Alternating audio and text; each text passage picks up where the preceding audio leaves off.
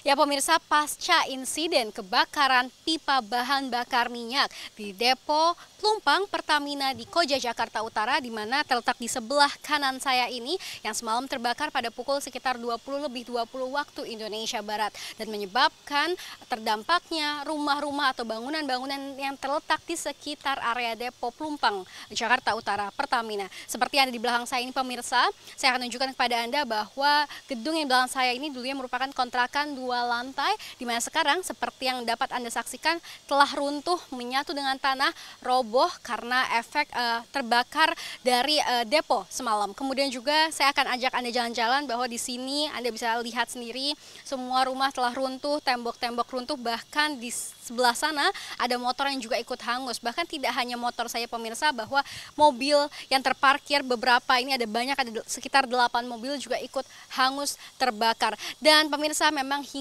saat ini telah dikerahkan eh, petugas pemadam kebakaran dan juga petugas penyelamatan dan juga evakuasi terdiri dari TNI dan juga Polri, kemudian juga masih banyak lagi petugas lainnya dari Badan Penanggulangan Bencana Daerah yang juga turut eh, datang ke lokasi untuk mengevaluasi dan juga mengevakuasi para korban. Pemirsa dapat saya sampaikan bahwa memang hingga saat ini berdasarkan data dari PMI dan juga dari uh, Badan Penanggulangan Bencana Daerah terdapat uh, sekitar 17 warga yang telah tewas atau meninggal dunia di mana dua di antaranya merupakan anak-anak dan rumah di belakang saya ini pemirsa merupakan memang tempat evakuasi terakhir korban yang meninggal dunia dan dibawa ke RS Kramat Jati Polri, di mana memang pagi hari ini ada empat warga yang ditemukan meninggal dunia. Kemudian juga selain itu pemirsa warga yang eh, luka-luka uh, dan juga luka ringan, luka bakar, luka uh, dan juga luka berat ini dibawa ke enam uh, eh, RS lainnya seperti di antaranya adalah RSPP, RSUD Tugu Koja dan juga RS Koja dan RS-RS yang ada di sekitar Plumpang, Jakarta Utara ini pemirsa. Kemudian juga pemirsa memang pada saat ini ada damkar, tiga unit yang dikerahkan kembali, di mana semalam ada 52 unit dan sekarang ada tiga unit yang memang tidak lagi ada api yang membara atau si jago merah sudah tidak ada lagi, tapi memang ada sisa-sisa bara api di mana yang menyebabkan rumah-rumah ini beberapa masih berasap dan oleh karenanya petugas dari pemadam kebakaran masih mendinginkan asap-asap tersebut pemirsa seperti yang dapat Anda lihat di sini asap-asap masih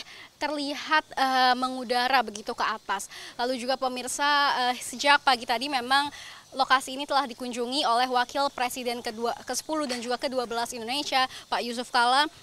ke PMI juga ia kunjungi untuk melihat bagaimana korban saat ini. Dan juga ada pula dari PJ Gubernur DKI Jakarta Heru Budi yang mengunjungi lokasi dan meninjau seperti apa uh, lokasi perkembangannya sekarang di evakuasi para korban. Yang memang hingga saat ini sudah tidak ada lagi korban-korban yang uh, yang masih ada di area ini dan sudah dievakuasi semua. Total dari RT 1 dan juga RT 9 RW 1 dan juga RW 9 terdapat 600-an orang yang telah dievakuasi hingga semalam. Jadi pemirsa apabila anda melihat banyaknya orang-orang yang ada di belakang saya ini memang sudah bukan lagi korban atau yang terdampak semalam, tapi memang merupakan orang-orang yang memang mampir saja. Demikian dan kita harapkan tentunya agar tidak ada lagi korban jiwa ataupun korban yang terkena luka-luka berat dan semoga insiden ini secepatnya diselesaikan oleh para petugas yang bertugas. Demikian dari Jakarta, Shania Latas dan juru kamera Iqbal, tim liputan CNBC Indonesia.